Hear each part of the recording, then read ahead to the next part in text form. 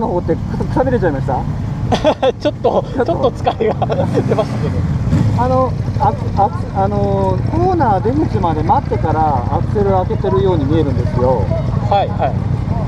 こう入ってって一番スピードが落ちるじゃないですか。はい。クリップの手前ですね。は一番スピードが落ちてクリップクリップにはもう加速しながらクリップに入ってくるそのままアウトに膨らんでいく要はアクセルを長く使うようにするとはいもっととあのなんでしょう、ペースがいい感じで上がってくるああ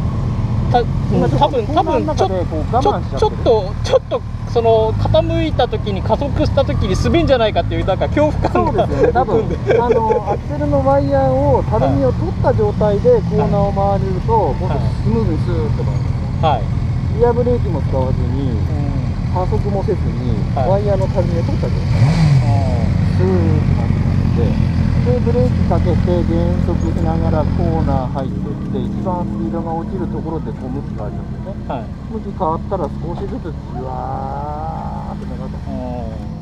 そういうリズムでちょっとトライ今度は。い。あの覚えておきます。ありがとうございます